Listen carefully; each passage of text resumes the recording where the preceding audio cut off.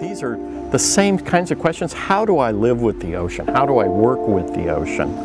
And that need to know is just getting more and more intense. It's always kind of been at the core of oceanography, at least for the last roughly 60 years.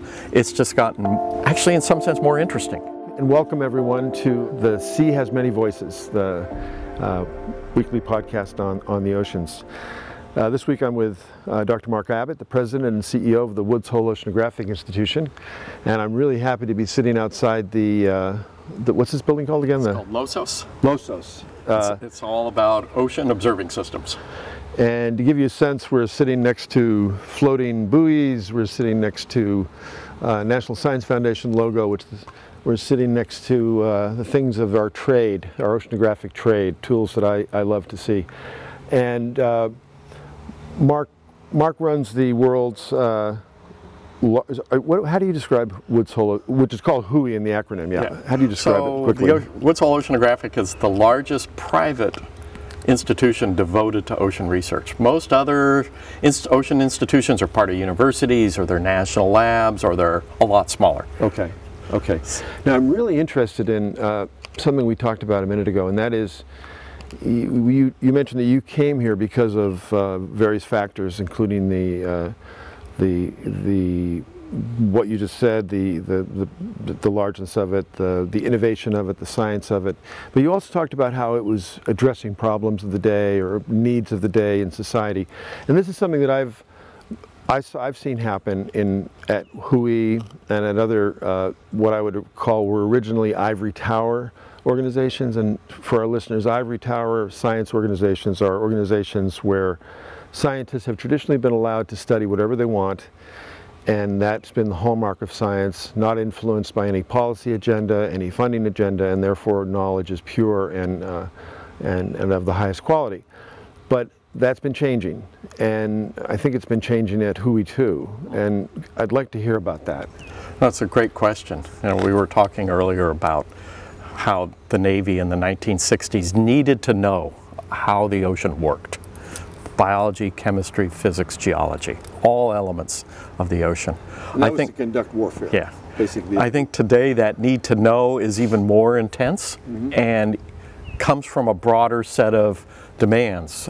How are hurricanes going to change and how is that going to affect construction along the coast? How are fisheries changing under uh, expansion of ocean acidification or low oxygen waters.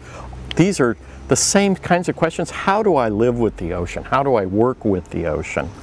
And that need to know is just getting more and more intense. It's always kind of been at the core of oceanography, at least for the last roughly 60 years.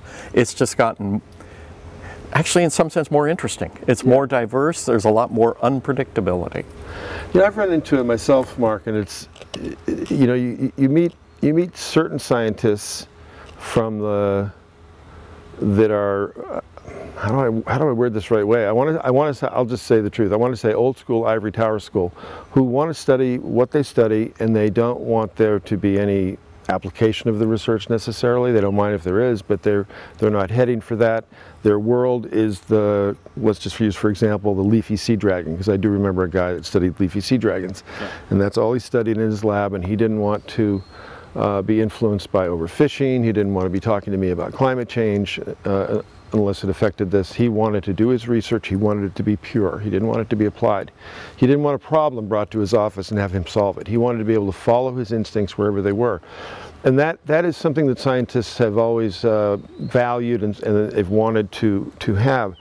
But today, the planet is, is changing at a rate that it's never faster than it's ever changed through industrialization, through population growth, through climate change. And uh, I mean, I'll voice my opinion. I feel that scientists need to step up now, and we need to uh, not have uh, the total luxury to study whatever we want. We need to apply what we what we know. I'd like to hear your your views personally, and then you can separate those from your institution and, and how you guys are oriented to this. Because I because I've I believe there's been a change that I've noticed. Yeah. No, again, great conversation because you could say, I'll just do whatever anybody asks, and. I'll just do that. And in some sense, that's what a lot of environmental consulting organizations do, and that's great. They answer very specific that's questions. Right. On the other extreme, it's I'll just do whatever I want. I think actually, if you look almost all the sciences, they're, they're somewhere in the middle of that spectrum. And I would say ocean sciences, particularly in the last 60 years, there's that balance between that free-form curiosity driven and that need to know. And you want both of those because if you just say, I need to know this problem and give me that answer, in some sense you've kind of already narrowed down that curiosity, that unexpected, really can open things up. I'll give an example yeah. where it used to be that we thought we knew how what we call the subtropical gyres, the, the centers of the ocean, north of the equator, they were deserts. You know, we thought nothing lived there. The water was really deep blue. Uh, we thought it was a pretty simple ecosystem. The more we studied it, the more we understood, wow, this is a really dynamic ecosystem and there's a lot, there are whole life forms that we didn't expect. That are, there's a whole nother kind of food chain, what we call the microbial food chain, uh, that we didn't know existed. And we understood more about the ocean. That informed how we think about managing the ocean. So if you just say, I'm going to answer that question, it can become very short-term and narrow and you get surprised. Mm. If it's just curiosity driven, well, you may not answer the important questions. So where that balance is, wow. is a really interesting point. Wow, you really helped me. That's a great answer, Mark. You said you, some scientists do what they're asked, and that's a, a, maybe the business model. Some scientists want to do what they want, which is what most scientists are like. Yeah. And what was the third category? Well, I, I, uh, let me add the third category because you didn't have one. I would say then there's what scientists need to do in order for, to enable civilization as we know to survive on this planet. Yeah, that's sort of the longer, longer, that sort of middle question. I there. would argue yeah. that that's an important, yeah. an important part. And I'll tell you, um, I've been honored, this is a disclosure, to be on the Board of Governors at the Woods Hole Oceanographic Institution for some 10, 14 years. and uh, I was asked about 10 years ago by some some staff here how you do conservation. They wanted to know because I'd been involved and yeah. a lot of my work was applied. And I said, what do you mean? How do you do conservation? And they said, well, how do you do what you do? I said, what, what do you mean? And I was at the time working on uh, creating or enabling, helping uh, Pacific Island countries create marine protected areas. Mm -hmm. And oh, I said, oh, that. And they said, yeah, that. How do you do that? And I said, it's all about relationships. I said you just got to go meet people and talk to them, and then uh, and then do your research that you're doing, and you'll uh, you'll be able to to tie that up. And since then, Woods Hole Oceanographic Institution WHOI, has uh, become a partner with me and others in the Pacific, and I want to thank you for that, because uh, you brought your team in to help us study uh, reefs, coral reefs, bleaching, which is a form of death reefs uh, encounter from heating, uh, by bringing in some of your, your big assets, I call them toys, but some of your big uh, coring tools, tools that you core down into a coral reef and look back seven, eight hundred years, which we weren't able to do before that. Mm -hmm. prior to that, we were doing what I called one fish, two fish research, where you jump in the water and you kind of swim around and record what you have. So you've, you've joined a lot of efforts your, your staff have here, and I, and I thank you for that.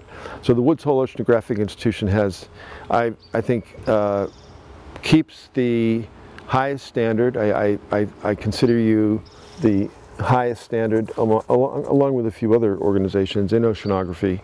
But you've also adjusted your path a little bit, I think, to deal with the world's issues of the day. Right. Is that a fair statement? I think that's a fair statement. Some of it is, it, it's not just a generational thing, but a lot of it, it is. That people, our younger, particularly our younger scientists, are really interested in impact. They, they know their work's important and they want to actually see that there's a connection between what they do basically seven days a week. They, are, they only work quote five days a week, but most of them are out, you know, working at home or on the weekends out in the field or whatever. Uh, they want to see that impact, to feel like their work is important. Well, most of most of our world, Mark, is uh, they're passion driven. Yeah. Everybody I know works seven days a week, 24 yeah. hours a day, yeah. and I'm proud of it. I love it. Yeah. I used to get, I used to worry about it sometimes because my friends and whatnot would say, yeah, I work too much, and I said, oh, I better slow down. But then I realized I like it. Yeah. Why, why should I stop? Now, uh, I want to thank you, Mark, and I want to come back to our conversation. Thank you very much.